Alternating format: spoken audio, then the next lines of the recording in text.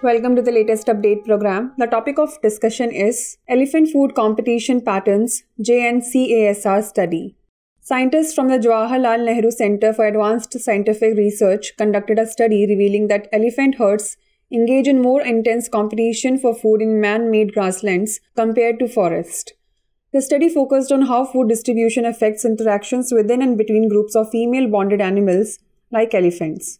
Researchers analyzed elephant behavior data from the Kabini Elephant Project, which began in 2009 to monitor individual elephants. This research sheds light on the ecological and social impact of human activities on animals. Despite traits that suggest low competition, like their diet of dispersed, low quality food, grass and vegetative parts, non territorial nature, and the overlapping home ranges, the study found increased conflict in areas with abundant, easily monopolized food.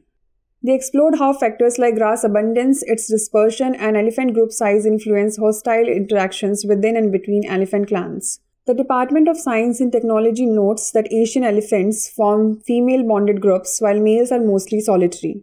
This challenges the predictions of the ecological model of female social relationships, which links food distribution to competition and conflict within and between groups.